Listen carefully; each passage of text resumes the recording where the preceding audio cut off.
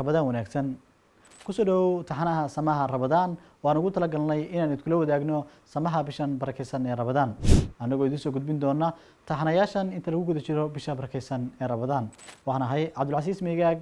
xalaqadeena maantana waxaynu ku soo qaadan doonaa haddii uu eeb raalli ka noqdo rabadaanta iyo sida ay tahay inaynu ku soo dhoweyno ugu horeyn bisha rabadaan waa bisha sagaalaad ee hijiriyada waana tiirka afraad shanta tiir ee islaamka waxayna gaar u tahay muslimiinta waana waajib in la soomo sida uu ilaahay aayadda boqol siddeetan iyo saddexaad fi suurati albaqra uu noogu sheegay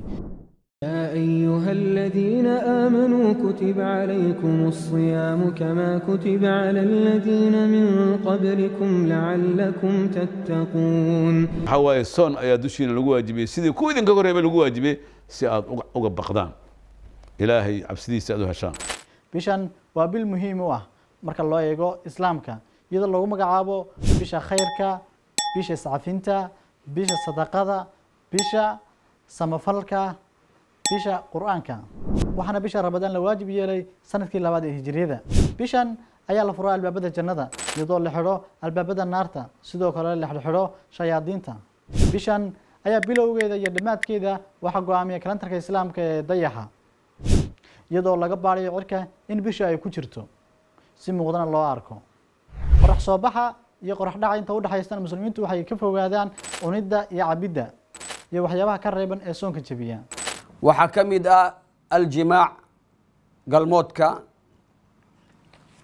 Waxaa ka mid ah qofka inuu ismatajiyo mataga waxaa ka mid ah xijaamada toobinka oo جرك معناها مقارك ديقة لقصو صارو آه حديث النبي صلى الله عليه وسلم أفطر الحاجم والمحجوم حديث كاس وحديث أبو داود يا وريي بن خزيمة الباني معناه صحيح يا لأسقنا وحكم أ خروج دم الحيد يدم النفاس أي كم أ waxaa kaloo ka mid ahaa qofka inuu macnaha niyeysto niyadii qa- qabla alifطaari waqt lifطaar iyadoon la gaarin waktiga la afuro iyadoon la gaarin. Qodobka ugu dambeeyey wuxuu ahaa alridda nacuudu billahi subxaanahu wa tacaala ilahan ka magan qofka macnaha inuu diintiisii كبحو دينت إسلامك إنه كبحو. لقوله سبحانه وتعالى لئن أشركت ليحبطن عملك. هدي أد إلهي أشرك يشو.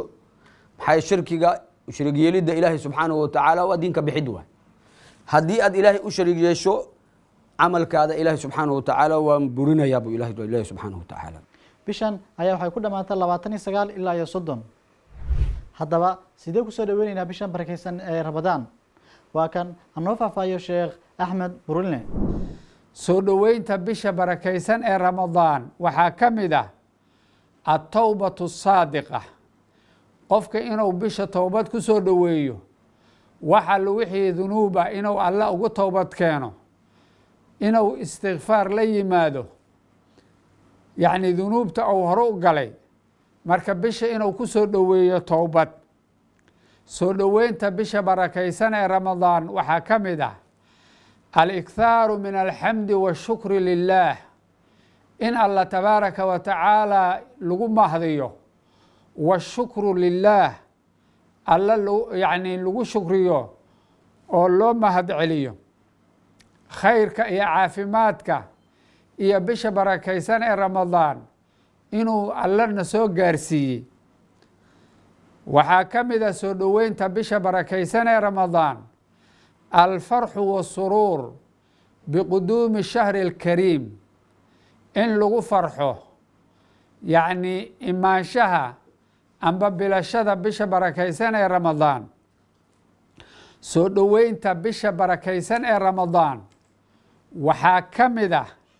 alikhlaasu wa tajdiidu niyati lilaahi tabaaraka wa tacaala in yacni cibaadada alla tabaaraka wa tacaala loo barax tiro. Cibaadada ilaahay keligii la siiyo alle keligii la caabudo cibaadada ikhlaas laga dhigo iyo wa tajdiidu niya niyada in la cusbo niyada inuu cusboonaysiiyo qofkan